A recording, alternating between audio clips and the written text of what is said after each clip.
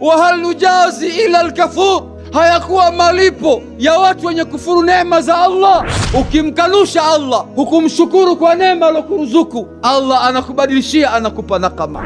Wako wangapi Allah amewajalia afya iliyokuwa nzuri? Kuna watu wanatamani lau sajidatan wahida, sijida aporomoke tu lillahi, hana uwezo huo tena, afya imeshaporomoka.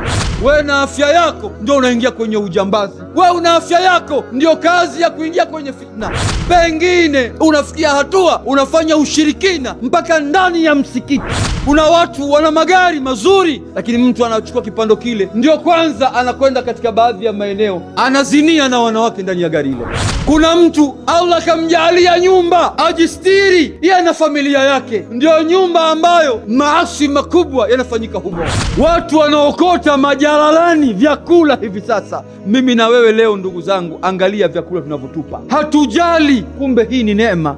Kula kwa kile ambacho Allah amekuruzuku. Kilichokuwa kimezidi kihifadhi, huwezi kukila, nenda peleka kwa mtu msaidie. Katika baadhi ya miji ya Waislamu utashangaa kuna Waislamu hawajui usiku watakula nini. Ikifikia hatua hiyo, usitafute mchawi ni nani, huenda nafsi yako umedhulumu haki ambayo Allah alokuwa amekuneemesha wewe na wewe umeitupa.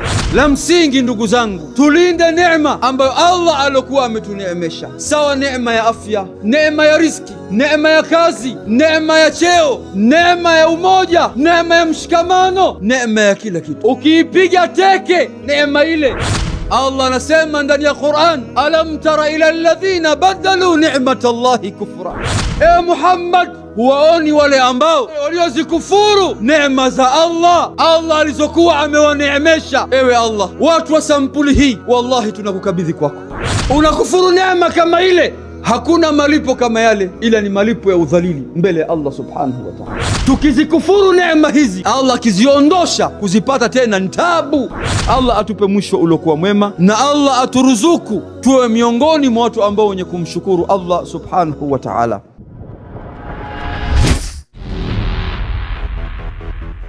Mahasin TV, pata kujua wema wa Uislamu.